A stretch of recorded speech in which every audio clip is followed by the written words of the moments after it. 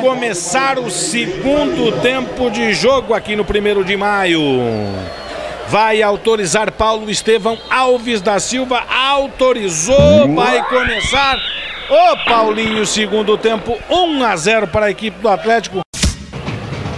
Na perna esquerda ele tenta fazer o toque para o Serrano lá na direita. Washington já dentro da área, faz o cruzamento para o Ney Mineiro. Balançou, balançou, balançou.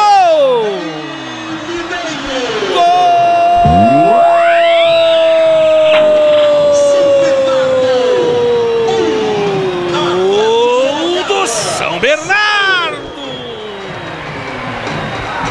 Ney Mineiro, número 9. Uma jogada entregada pela zaga do Atlético Sorocaba mais uma vez. Ô, oh, Paulinho, assim não dá. A explosão do gol. Um cochilo da zaga do Atlético Sorocaba. Deu vacilo, deu espaço para o artilheiro Ney Mineiro que não perdoou. Agora empata o São Bernardo no começo do jogo, Cortez. Faz um bom passe para o Thiago Gasparino. Cruzamento para o Washington, matou no peito, ficou de frente pegou embaixo da bola, ela passou por sobre o gol e o Fernando Diniz está olhando com aquela cara de quem não está gostando nada, nada, Paulinho. Até porque nesse lance a, a, defesa parou. Parou por ali o Fernando Miguel, sobrou para o Washington. Para sorte do Galo, ele pegou mal na bola, mas perde uma grande chance o São Bernardo Cortez. Marquinhos Bom passe pro Carlão. Fez a finta, perna esquerda. Olha o que ele fez. Olha o que ele fez. Olha o que ele fez. Gol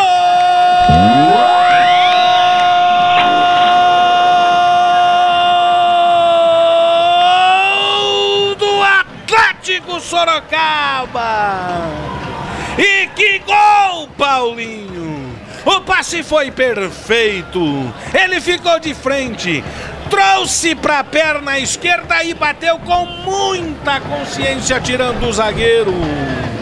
2 a 1 um aos 10 do segundo tempo. A coisa começa a melhorar, Paulinho. A explosão do gol está aí o que você queria. Ele já dizia na saída do intervalo: artilheiro não pode perder chance. E hoje parece ser a tarde do Carlão. Ele chamou o zagueirão para dançar. O zagueirão Melica aceitou, deu um corte no zagueirão, bateu de perna esquerda no cantinho do goleiro Wilson Júnior, que nada pôde fazer. Agora o Galo, 2 a 1 para cima do São Bernardo Cortez. A jogada é perigosa, quem sabe o terceiro agora. Marcos Vinícius cortou para a perna esquerda, clareou, chutou, a bola saiu mascada, rasteira. Vai a loucura o Fernando Diniz. Desperdiça uma ótima chance o Atlético Paulinho. E o Serrano que fechava livre, já na entrada da grande área era só rolar e ir pro abraço. Tentou a batida de perna esquerda, bate meio mascado, ficou fácil para o goleirão Wilson Júnior é ele e o capitão Fábio Gomes. Vai encarar o capitão, passou, fez a finta, o cruzamento de cabeça, a bola bateu na rede pelo lado de fora. Hércules Paulinho encarou Fábio Gomes, passou por ele, foi para a linha de fundo e botou na cabeça do jogador. E foi a última do Hércules Cortez. O Hércules que vai embora para a entrada do número 18 na equipe de São Bernardo, Jonatas.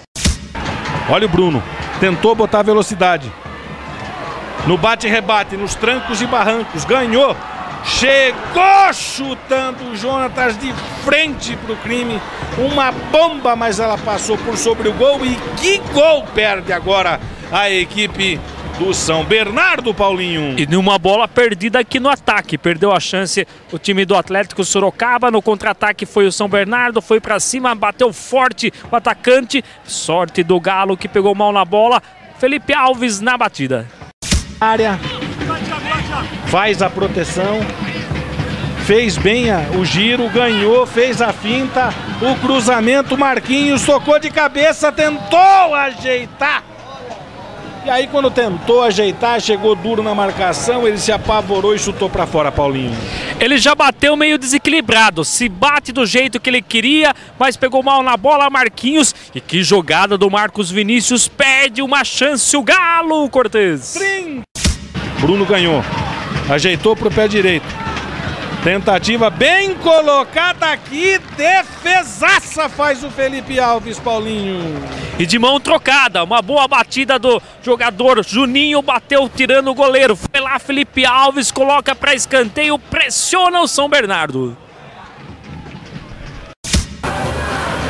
Conseguiu ajeitar para a perna esquerda de longe, a bola explode no peito do Felipe Alves. Ô, oh, Paulinho! Ah, no finalzinho, finalzinho, boa defesa do Felipe Alves. Ah, acabou a Cortez. Trilou o seu apito Paulo Estevão Alves da Silva. Maiúscula a vitória do Atlético Sorocaba, que vai se consolidando no grupo 4, Paulinho. Fábio, um jogão, né? Hoje, para falar, escolher quem foi o melhor em campo, fica difícil, porque todos foram bem, principalmente vocês ali na defesa é, no, onde o São Bernardo atacou bastante com jogadores altos. Fala um pouco dessa equipe e da garra que teve para ganhar essa partida hoje. Acho que é o conjunto, né? A gente sempre cita o conjunto aqui, a união, né? o trabalho que o Diniz faz dentro de campo, assim, os táticos. Né? Não é fácil, é toda hora fazendo táticos, é, formando a equipe, ele quer uma coisa toda organizada. Né? E o nosso treinador, é, o nosso time é a casa do nosso treinador. É um time que joga, tem que jogar, tem que ter personalidade para jogar e, e marcar forte. Então o time mostrou isso hoje, jogou bem, fizemos gols, né? Não tomamos gol lá, tomamos um gol, mas graças a Deus o Felipe estava também no momento inspirado, nós lá atrás estava marcando bem. E o time então está todo mundo de parabéns, acho que isso aí é só o começo, o time tem muito para crescer ainda, mas sempre com humildade. E como que é? Você mesmo disse, Fernando Diniz, dessa questão tática que cobra muito os jogadores. E para o capitão ali dentro do campo, a postura para chamar atenção, conversar com um, conversar com outro. Como tem que ter a postura do capitão? A postura sempre falando, né? Acho que o capitão sempre tem que estar organizando.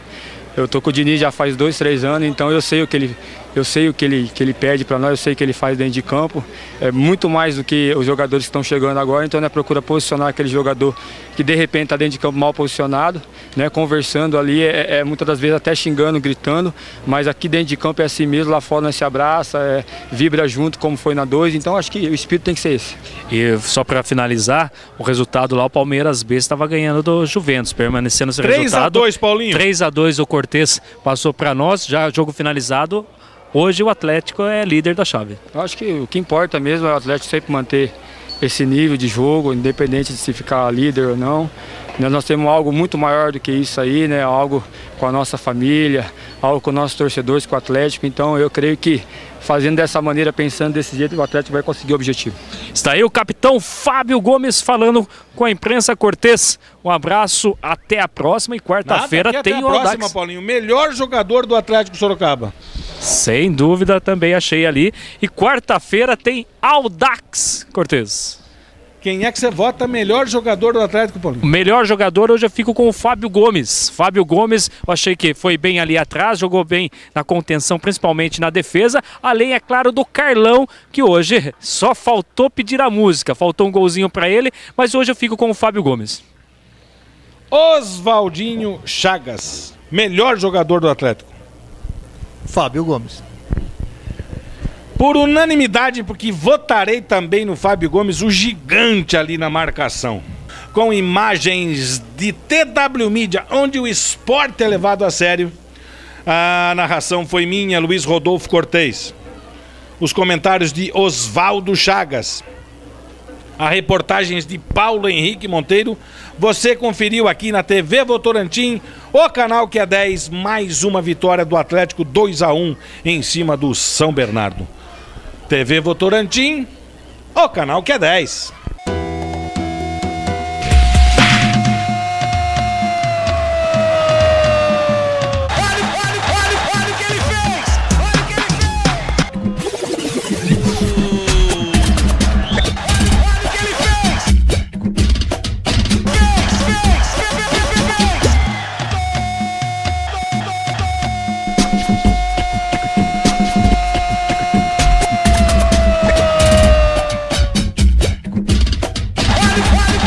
gotta get it.